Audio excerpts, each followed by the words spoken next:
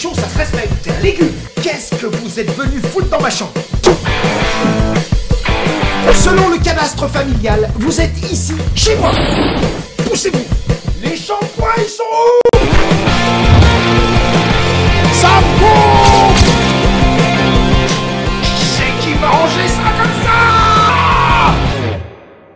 Faut que j'envisage un test de paternité.